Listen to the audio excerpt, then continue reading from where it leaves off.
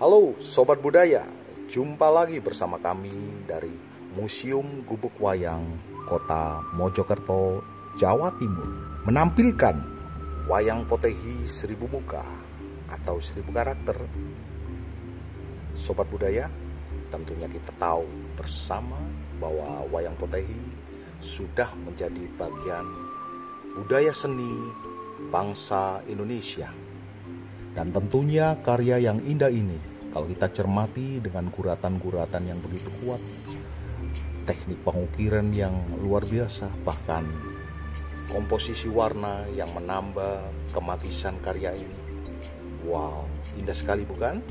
Tentunya karya yang indah ini adalah karya asli anak bangsa Indonesia.